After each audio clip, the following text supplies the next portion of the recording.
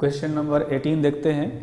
है ना, इस क्वेश्चन में बताया गया three charge particles A B and C with charges minus four Q two Q and minus two Q are present on the circumference of a circle of radius D the charge particles A C and the centre O of the circle form an equilateral triangle as shown in figure figure में देखेंगे कि एक ये है ए ये B और ये सी है ना?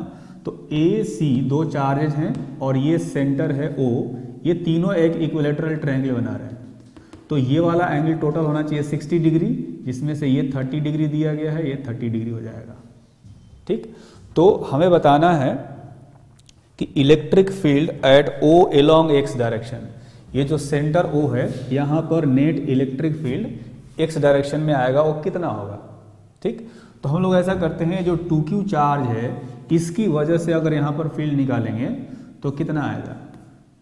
E का वैल्यू आएगा K into charge divided by distance का स्क्वायर है। डिस्टेंस रेडियस के इक्वल है है ना? तो इस चार्ज की वजह से इतना फ़ील्ड आएगा किधर?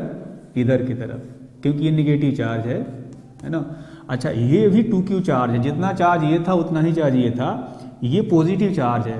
तो इसकी वजह से यहाँ पर फ़ील्ड इतना ही आएगा, क्योंकि यहाँ से डिस्टेंस भी डी है और डायरेक्शन भी इधर ही होगा। तो ये हो जाएगा टू ई इधर। इन दोनों का मिलाकर के नेट टू ई आएगा। है ना?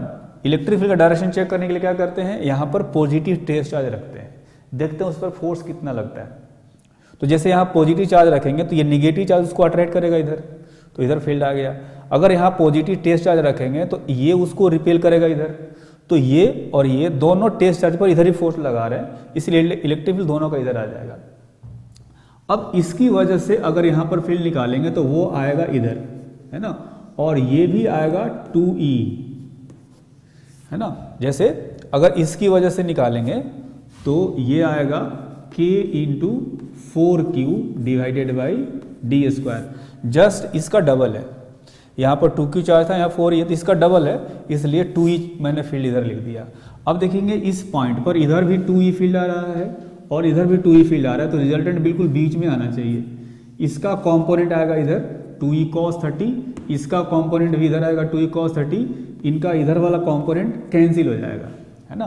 तो टोटल इधर जो फोर्स आएगा फ़ील्ड आएगा जो टू ई कॉस थर्टी इसका कंपोनेंट और प्लस इसका कंपोनेंट तो मैं टू से मल्टीप्लाई कर देता हूँ। ये जो है नेट एक्स डायरेक्शन में फ़ील्ड आएगा।